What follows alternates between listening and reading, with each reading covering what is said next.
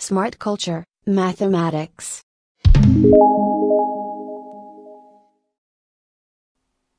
This video is all about the difference of two squares, which we can refer to as dots.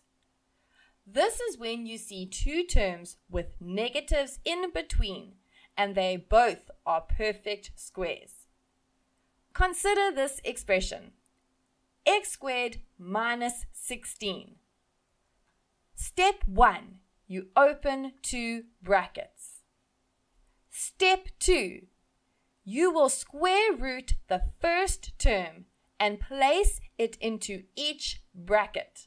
What is the square root of x squared? x, so we will place x in each bracket. Step 3, square root the second term and place it into each bracket. What is the square root of 16? 4. So we will place 4 in each bracket. Step 4. Put a positive in one bracket and a negative in the other bracket. Now we have in brackets x minus 4 and in another bracket x plus 4. Let's do another one.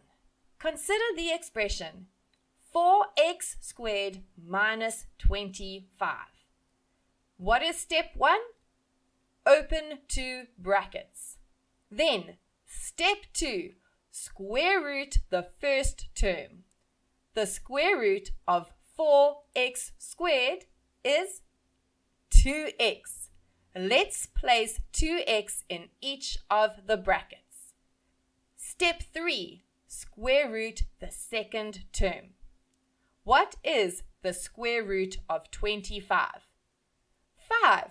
So we place 5 in each bracket. Now we do the last step, where we will put a positive in one bracket and a negative in the other bracket. This gives us, in brackets, 2x minus 5 and in another bracket, 2x plus 5. And that's a wrap on today's fascinating journey through the world of knowledge. Don't forget to hit that subscribe button and join our ever growing community of curious minds. We can't wait to embark on new educational adventures together.